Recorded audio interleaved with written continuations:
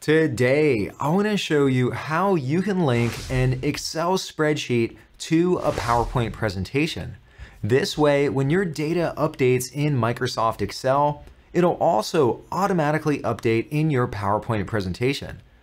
At the Kevin Cookie Company, I'm on point for pulling together our quarterly performance review. The slides themselves don't change, but the underlying data does. Usually I have to go into Excel and that's where I'll update the data. And then I have to manually copy and paste it from Excel into PowerPoint. That takes a lot of time and there are better things that I could be doing, like pulling together more YouTube videos. Luckily, there is a better way.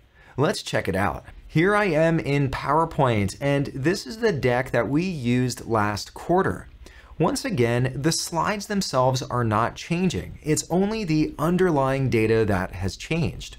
As a quick aside, if you want to create one of these fun cartoon characters that you see on the side of the slide, I've included a link to a video right up above that'll show you step by step how to do it. Now right here, this table in PowerPoint, I want to update it in Excel and those updates will automatically flow through to PowerPoint without me having to touch anything. Let's jump into Excel. Here I see my source data in Excel. I'm going to highlight the table and click on copy. Now let's go back over to PowerPoint. In PowerPoint, let's go up to the top left-hand corner and click on the drop-down under Paste. Then select Paste Special. Here, let's select Paste Link, and then I can paste it as a Microsoft Excel worksheet object. And look at that, I now have my table in Microsoft PowerPoint. But big deal, I had that before. But wait, the magic is about to happen. Here now I have Excel and PowerPoint open side by side. Here I'll just update one of the numbers in Excel. And look at that, it immediately shows up in PowerPoint. Here, I'll take the Q2 numbers and I'll paste them into my sheet. And there too, in PowerPoint, the entire table automatically updates without requiring me to do anything in PowerPoint. If I want to make any changes to the table within PowerPoint, I can simply double click on the table and this will open up the source Excel sheet. Then I can make whatever changes I want and they'll automatically flow back into PowerPoint. One of the downsides with this approach is if I want to make any formatting changes. So let's say I want to change the color or maybe the fonts or the font sizes. I have to make all of those changes in Excel. Once I make the changes in Excel, they'll flow through to PowerPoint. However, I can't make any of these formatting changes directly within PowerPoint. On the next slide, I have the exact same data, but this time it's in a chart format, basically a visual way to view these same data.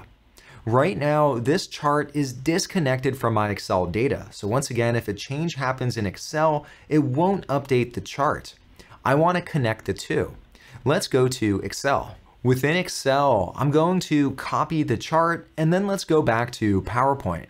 Back within PowerPoint, let's go up to the top left-hand corner. And once again, let's click on the drop down under paste. Here we have a few different options for pasting this chart.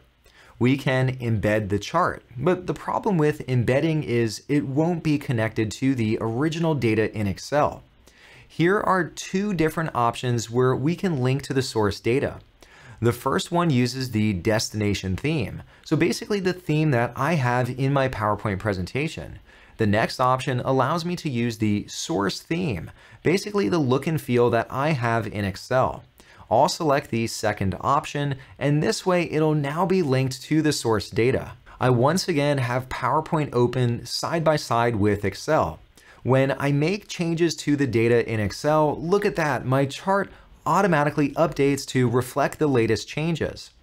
If for whatever reason the chart doesn't reflect the latest changes, you can click on the chart and then go up to the options on the top ribbon, and then you can manually click on refresh, and this will pull in the latest changes. Now, what if I wanna update my chart? And unlike with the table where you could simply double click on it, with charts, you have to right click on the chart and within the context menu, you can select the option edit data.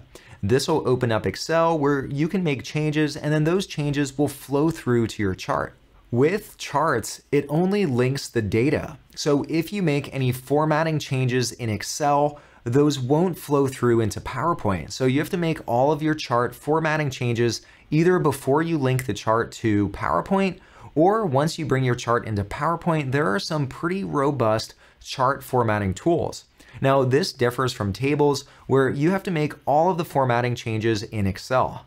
All right, well, this is sure to make my life a lot easier, and I'm sure it's gonna help me save a lot of time. So maybe this way I could work on even more YouTube videos.